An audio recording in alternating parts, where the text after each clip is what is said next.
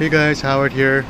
So during the early phases of production, a lot of times we don't have the special tools uh, that's required to do the job. Um, a lot of times these tools need to be custom, uh, custom made, or they need to come from uh, specialty places that take uh, that have a very long lead time typically.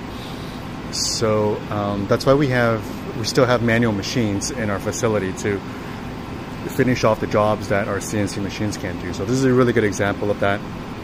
So you can see here, this is a DK6 piston. Um, inside the piston, uh, we need a, a, hole that needs to go all the way through the length of the piston, but we don't have um, a special drill that uh, allow us to go all the way through. Basically, it stops around there. So we gotta mount it on the manual lathe and drill from the other side and tap it as well so we can mount the feet at the bottom of the piston. Um, this is a clearance hole, meaning that it's not used to hold anything it just needs to provide enough space for the ball screw to um, exist inside. So I'm going to show you the, the process uh, of the manual machinery quickly.